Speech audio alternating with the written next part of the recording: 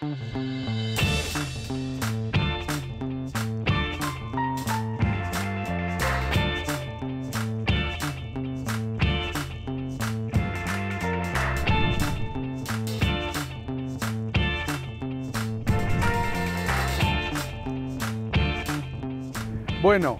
eh, Nacho, Javier, esta es la escultura Es bonita. o ¿eh? instalación Icuspegia en perspectiva que hicimos el año pasado y que es una representación de la historia de las pandemias.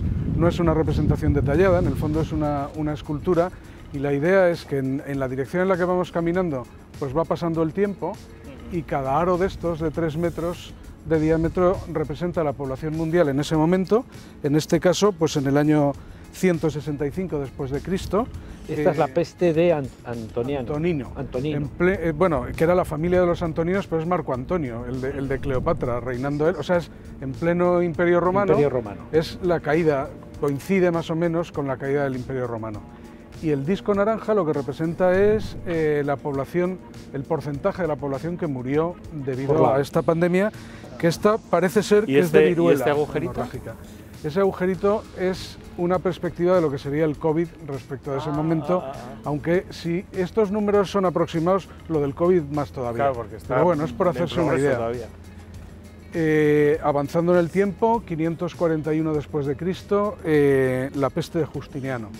Eh, es ya en, en Bizancio, coincide, con lo que decíamos antes, con la caída, caída del, del Imperio, Imperio Romano bizantino. bizantino, Que es, que es más importante en porcentaje de en muertes. porcentaje el- fue, fue mayor, sí, más este concentrado. ya casi no Pretendíamos que fuera sí, del sí. mundo, lo que pasa es que el mundo conocido entonces, en fin, por eso te digo que hay que entenderlo más como una metáfora y como una idea general que buscando números precisos. ¿no?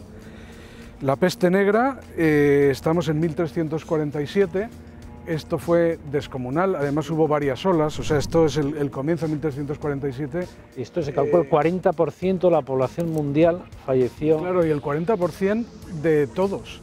En algunos lugares, en Navarra, se estima que fue el 60%. Y claro, el 60% de media hace que en algunos lugares fuera el 80, el 90, y de hecho eh, quedaron despoblados en Navarra unos 200 localidades de gente que murieron todos o casi todos y los poquitos que Que quedaron además iba y venía, se fueron porque, de allí. porque esta fueron durante varios años, Sí. iba y venía y Sí. se... fueron recurrentes, ¿no? Ola- olas recurrentes. Y- La mal llamada gripe española. Damos un montón de salto a 1918, final de la Primera Guerra Mundial, y la mal llamada gripe española, porque la gripe fue mucho más global, vamos, fue mundial. Y lo que pasa es que como había una guerra, los países en guerra no decían lo que pasaba, que había muertos, y el único país que era neutral entonces que lo comunicaba es España, y por eso quedó A mí, a mí me parece bien que se le llame la gripe española, Sí, porque sí. fue donde se reconoció que existía y uno de los sitios donde se estudió. Perfectamente. O sea que- Bueno, pero fíjate que el virus, el virus de la gripe, realmente se aisló y se identificó en 1937. O sea que en aquella época realmente todavía no se sabía cuál era la causa. No, no, desde Muchas luego. de estas enfermedades, eh, Nacho, vienen además de, de animales, De y se han transmitido Muchas son humanos, ¿no? zoonosis, eh, la, la peste pestes, eh, claro. a través de, de los roedores, la gripe española, pues sabemos que de los patos, o en este caso, que vamos a hablar del VIH, Y esta es la última, que, la última que tenemos aquí representada. Claro, no es la última ni mucho menos, que es el SIDA, 35 millones de muertos para una población que es más o menos la actual. Aquí cogimos el 85 como fecha de referencia. Así como en tiempo de los romanos lo mismo te da coger casi 50 años adelante o atrás, aquí había que clavar una fecha para buscar los números y cogimos el 85. Y, bueno, es el 0,7 de la población mundial. Eh, claro, no es anual, es a lo largo de muchos años, pero bueno, importante. Ahora habría que hacer más grande el agujerito de la. Y aquí, aquí la, siguiente es la invasión zombie ya, ¿no? Aquí La- ya aquí la invasión la- zombie, la, guerra todo, ¿no? mundial y todo.